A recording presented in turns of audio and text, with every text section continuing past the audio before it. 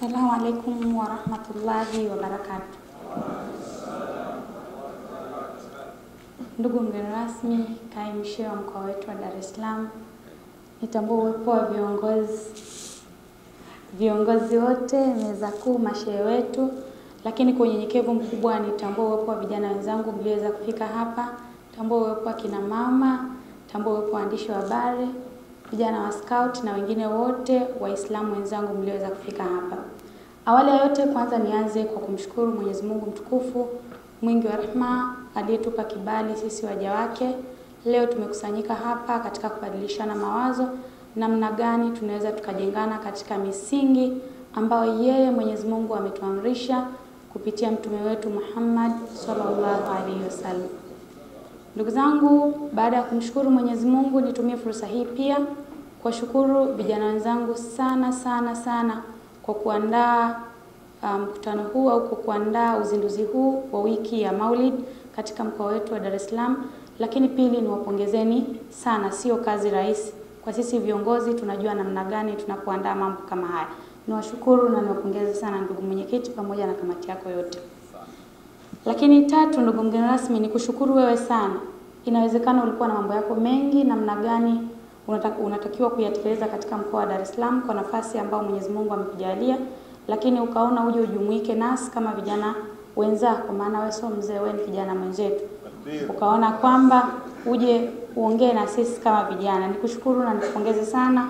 Sisi kama vijana wote wa Kiislamu hatuna cha kukulipa zaidi ya kukuombea kwa Mwenyezi Mungu mtukufu akuzidishie pale ambapo umepungukiwa. Ndugu vijana, nimepewa nafasi hii. Sisi kiitifaki, itifaki yangu ilikuwa inanivunja mabega. Anaposimama mgeni rasmi, mimi kwa utaratibu sitakiwi kuzungumza jambo lolote, lakini kwa heshima yake ameamua niseme jambo lolote kwa vijana wenzangu. Ndugu vijana wenzangu, pamoja na Waislamu wote mlioweza kufika hapa, sisi tuna jukumu kama vijana wa Kiislamu, lakini kama vijana wa Kitanzania, lakini kama Waislamu wa Kitanzania ambapo jukumu letu kubwa, lazima tujipe muda wa kujipima kwa namna yoyote ile. Namna gani tunajipima? Nimeona kauli mbiu inasema vijana na uchumi. Hatuwezi kuifikia hii kauli mbiu au hatuwezi kuitimiza hii kauli mbiu bila kukaa na kujipambanua kama vijana. Bahati nzuri, hata sisi Umoja wa Vijana wa Chama cha Mapinduzi nchini tuna kauli mbiu yetu inasema siasa na uchumi na hii nimefurahi na nimefarijika kwa ninyi kukaa na kutafakari kwamba kuileta kauli mbiu na mjue namna gani mnaweza kuitekeleza. Mtaitekeleza vipi? Ushirikiano wenu, namna mtakavyojipambanua na kukaa na kufikiri.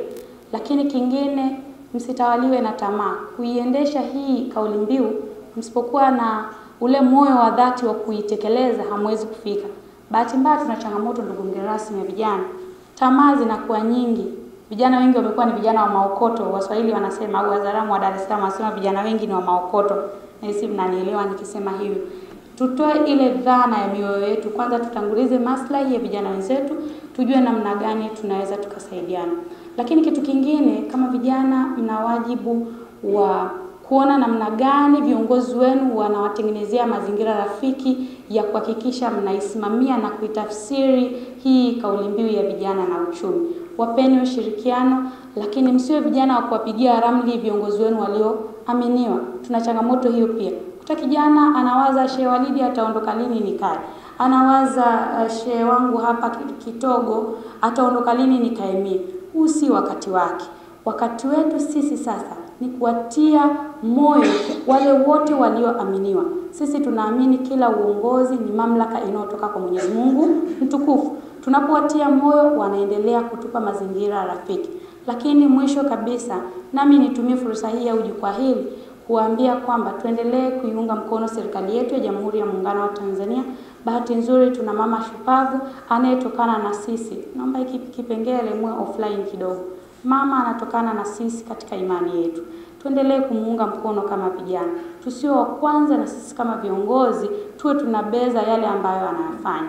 Tumpeni wakati mzuri, namna gani anaweza katusaidia kama vijana, kwa sababu tumeendelea kuaminiwa. Lakini mwisho kabisa, Mwenyezi Mungu mtukufu anasema wama atakumur rasulu fakhudhuhu wama nahakum fantahu, aliyoaleta mtume yachukueni, na aliyowakataza mtume mfanye nini? Muyaache. Yuko mgeni rasmi hapa ambao leo hadhara hii ni ya kwake. atakayoyaleta mafunzo bora. ni waombe vijana wenzangu mkayaishi na kuyasimamia na kuyatafsiri kwa vitendo ili tuweze kufika. Billahi taufiq wa hadha, assalamu alaikum wa rahmatullahi wa barakatuh.